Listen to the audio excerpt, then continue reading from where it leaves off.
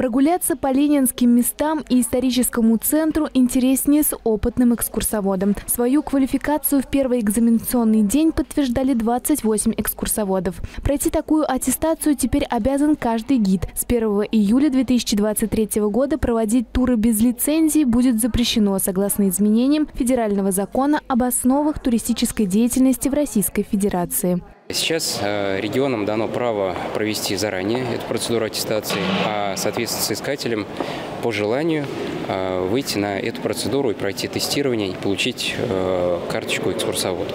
Такой закон – одна из мер борьбы с фейками и распространением ложной информации. Отследить, что рассказывает каждый уличный экскурсовод, сложно. Да и стать таким гидом фактически мог любой прохожий. Помимо фейков, экскурсовод с улицы может быть и мошенником, который хитрым способом прикарманит ваши денежные средства. Теперь же без лицензии и аттестации проводить туры по улицам города будет невозможно. Опытным гидом пройти экзамен не очень сложно.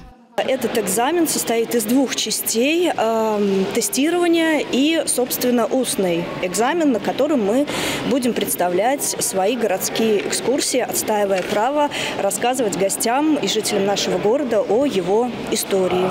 Э, экзамен достаточно сложный, в нем пять вопросов, которые, в общем-то, полно отражают все аспекты деятельности экскурсовода.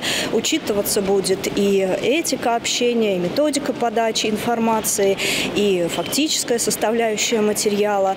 Проверят гидов и на знание краеведения. В экзамене только те вопросы, которые должен знать каждый экскурсовод, не только прикрепленный к музею, но и самозанятый. Есть список вопросов, которые они обязаны знать, которые обязаны все знать вопросы, да, ответы на которые должны знать. Значит, э, краеведение – это основа. А, значит, э, так как э, не все экскурсоводы ведут экскурсии в рамках своего музея, а э, более широкий профиль – это все-таки и работа на периферии, где-то в области. Поэтому они обязаны знать и периферийную историю, и историю всей Ульяновской области. Оценивали ответы аттестуемых комиссия из экспертов, представителей региональных туроператоров, образовательных организаций, которые осуществляют подготовку экскурсоводов, а также представителей музея и некоммерческих организаций, осуществляющих туристическую деятельность. Тем, кто успешно пройдет экзамен, выдадут нагрудную идентификационную карточку и аттестат экскурсовода со сроком действия на 5 лет. Светлана Карпухина, Геннадий Бухтаяров, Улправда ТВ.